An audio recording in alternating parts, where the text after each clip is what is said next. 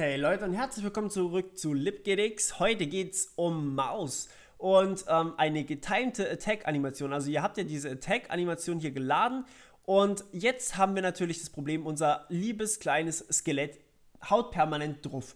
Das ist nicht so geil. Ähm, wir wollen das natürlich nur so, ja, wir wollen das mal haben, wenn wir zum Beispiel die linke Maustaste drücken, so schlägt man standardmäßig in irgendwelchen Videospielen, aber nicht einfach die ganze Zeit. Deswegen macht es so irgendwie keinen Sinn. Wir wollen das Ganze jetzt also nicht mehr über, ähm, wir wollen das also hier unten in Touchdown und Touch Up wollen wir jetzt regeln, starte die Animation und stoppe sie auch wieder. Und zwar mit Maus, wie gesagt. Touchdown und Touch-Up hatten wir letztes Mal schon kurz gemacht. Die waren aber, habe ich gesagt, für Bewegungen von irgendwie Android oder sowas. Aber mit der Maus hat man auch solche Bewegungen. Schaut doch mal einfach mal in der Maus zu hier. Damit kann man eigentlich auch recht gut Bewegungen machen. Gut. Ähm, wichtig ist, dass wir hier Timer.schedule benutzt haben. Ihr seht hier, Timer.schedule ist eine statische Methode. Das ist nicht geil, denn wenn ich diese statische Methode jetzt benutze und sage, okay, pausiere meine Animationen, dann habe ich ein Problem. Nämlich dann werden alle Animationen pausiert. Also der Gegner haut nicht mehr, ihr haut nicht mehr und dann wäre es ja einfach. Deswegen ähm, müssen wir das Ganze mit nicht statischen Funktionen machen. Wir brauchen tatsächlich einen neuen Timer hier. Deswegen sage ich jetzt hier einfach mal Timer Attack. Also wenn ihr nur eine Animation habt, ist das die einfachere Methode. Aber wenn ihr mehr als eine Animation habt, was ihr normalerweise haben werdet, dann braucht ihr tatsächlich für jede Animation einen eigenen Timer. Deswegen sage ich jetzt Timer Attack und ich darf ihn hier noch nicht initialisieren, weil der irgendwie in die Game Loop noch reingenommen wird. Ähm, logischerweise, beziehungsweise ins Game generell mit reingenommen wird. Deswegen darf ich das erst hier in dieser Create-Methode machen. Ähm, also sage ich jetzt hier Attack gleich New Timer. Klammer, Klammer, Semikolon, fertig. Okay, und jetzt möchte ich gerne hier diesen Attack-Timer benutzen und nicht mehr die Schedule-Methode, sondern Attack.schedule, ups, Schedule Task. So, und mit diesem Schedule Task mache ich im Prinzip genau das, was ich davor auch schon gemacht habe. Ich sage einfach, ich hätte jetzt gerne einen Task und der soll ausgeführt werden. So, wenn wir uns das jetzt mal angucken, sind wir im Prinzip nur von einer, na komm, mach's auf, von einer ähm, statische Methode, nämlich Timer.schedule, auf eine nicht statische Methode. Das heißt, wir können jetzt mehr als eine Animation haben.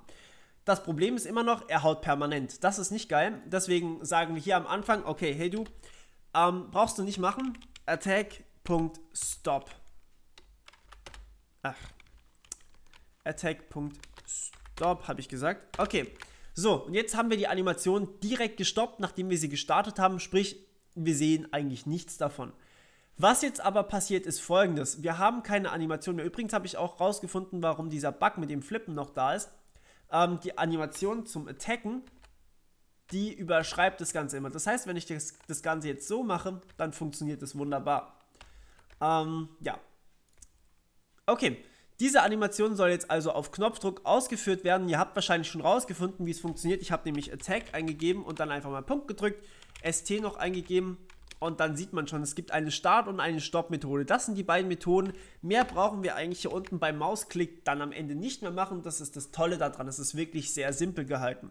Okay, also was sind unsere Zielmethoden hier? Touchdown und Touch-Up. Wie gesagt, hat nichts mit äh, Football zu tun. Gut, ähm, bei Touchdown sagen wir jetzt einfach, okay, wir haben jetzt hier einen Button gedrückt und wir wollen gerne, wenn dieser Button gedrückt ist, if-Button, Ihr könnt auch mit der rechten Maustaste schlagen oder mit irgendwelchen Keys von eurem Keyboard, aber dann macht ihr das mit Keys hier oben bei Key Up und Key Down. Bei ähm, linke Maustaste, rechte Maustaste einfach hier rein. Ihr könnt es euch aussuchen. Ich nehme jetzt die linke Maustaste. Witcher 3 sei gepriesen. Buttons habe ich gesagt. Buttons, Punkt, oder wollte ich sagen, Left. Das heißt, der, die linke Maustaste, wenn die gedrückt wird, was machen wir dann? Naja, im Prinzip nicht viel. Wir sagen einfach Attack.start. So, dann fängt unsere Attack-Animation an. Und hier unten genau dasselbe Spielchen wieder. Wenn die linke Maustaste losgelassen wird, Touch Up ist loslassen. Wenn sie links losgelassen wird, dann sagen wir hier Attack, nicht Start, sondern Stop. So, das war die ganze Magie dahinter. Jetzt können wir das Ganze mal ausführen und uns angucken, was noch kaputt ist und was noch funktioniert. Okay, ich bewege meine ähm, meine Figur wieder mal mit meinen Pfeiltasten. Und wenn ich jetzt anfange, hier drauf zu drücken, dann fängt er an, also linke Maustaste halte ich gerade gedrückt, dann fängt er an zu hauen, die ganze Zeit.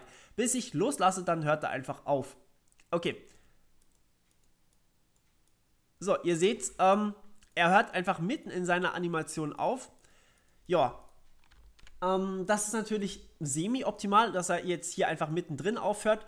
Wir könnten aber auch einfach dann die andere Animation benutzen und wieder die Laufanimation starten. Das heißt, wir laden jetzt hier dann eben noch ein zweites Sprite rein, also eine zweite Animation. Wir haben ja sogar zwei Attack-Animationen, habe ich euch ja, glaube ich, mal gezeigt. Wir haben sehr, sehr viele Animationen hier und ähm, laden einfach die zweite Animation noch rein und wenn wir hier eben dann nicht mehr schlagen, dann fangen wir wieder an mit Laufen. Sowas in die Richtung. Mache ich jetzt nicht, sonst wird das Video wieder so lang werden und das überlasse ich, wie gesagt, euch, ist alles kein Problem. Das wird jetzt auch einfach mal so bleiben. Okay, dann hoffe ich, es hat euch mal wieder gefallen und ihr wisst jetzt, wie man Buttons hier benutzt und wie man Animationen schön timet, also auf Knopfdruck sozusagen. Okay, alles klar, dann bis zum nächsten Mal, wir hören uns, ciao, ciao.